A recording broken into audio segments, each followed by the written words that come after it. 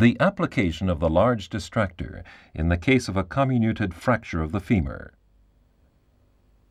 In this exercise, a femoral fracture will be reduced using the large distractor prior to possible plating. The distractor is first assembled. There are two different lengths of threaded rods. For this exercise on the femur, the longer is more appropriate. A knurled nut is screwed onto the end of the threaded rod in which there is a transverse hole. The double joint is mounted on the same end of the threaded rod, whereby the slot in the double joint is aligned over the transverse hole in the threaded rod. To prevent rotation of the double joint, insert the clasp through the transverse hole in the threaded rod. A holding sleeve is mounted on the double joint. There are long and short holding sleeves. In this exercise, we will be using the longer sleeve. It is mounted on the double joint and secured with a nut with spring washer. A second knurled nut is screwed from the opposite end onto the threaded rod. The sliding carriage is mounted and secured with a third knurled nut. We mount a long holding sleeve on the sliding carriage and secure with a nut with spring washer.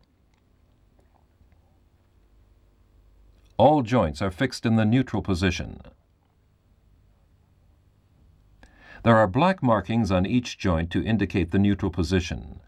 Having the distractor in this position facilitates both handling and application.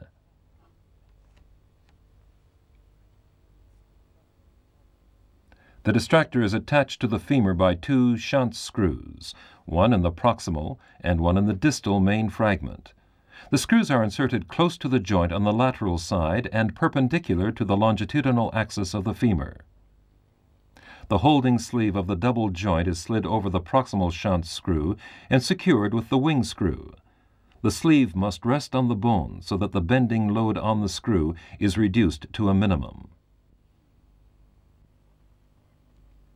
In order to slide the holding sleeve over the distal Schanz screw, all the joints of the distractor have to be loosened. The position is secured by the wing screw. We will now adjust the distractor to lie parallel to the longitudinal axis of the femur, and then tighten the joints of the double joint. Since the following manipulations exert force on the distractor, the joint nuts must be tightened with the pin wrench. To position the distal main fragment relative to the proximal fragment, the universal chuck with T-handle may be used. The joint on the sliding carriage must be tightened before the fragments can be distracted by means of the knurled nut and the threaded rod.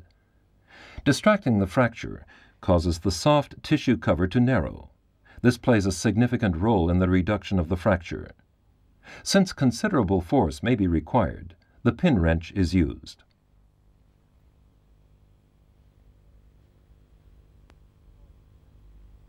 The sliding carriage is secured with the third knurled nut.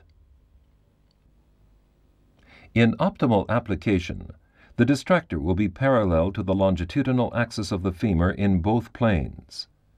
The aim of the fracture reduction is the correct alignment of the main fragments and the correction of the length and rotation of the femur. On this model, we demonstrate the corrective options offered by the distractor. The knurled nuts permit the sliding carriage to be adjusted lengthwise along the threaded rod, thus distracting or compressing the fracture.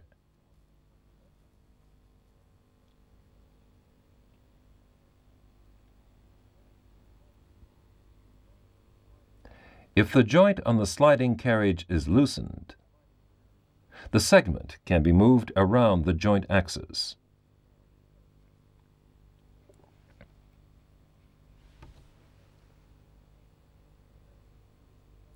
The same is true of the double joint around which the other segment can be rotated.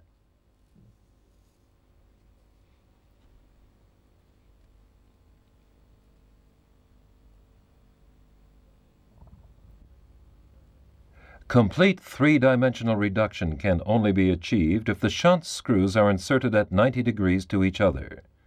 This type of assembly is most appropriate when applying the distractor in an intramedullary nailing procedure. The AP screw is inserted using a special aiming device on the medial side of the intramedullary nail. On this model, we see that the fracture can be manipulated in two planes. This is required when an intramedullary nail has to be inserted through the fracture site.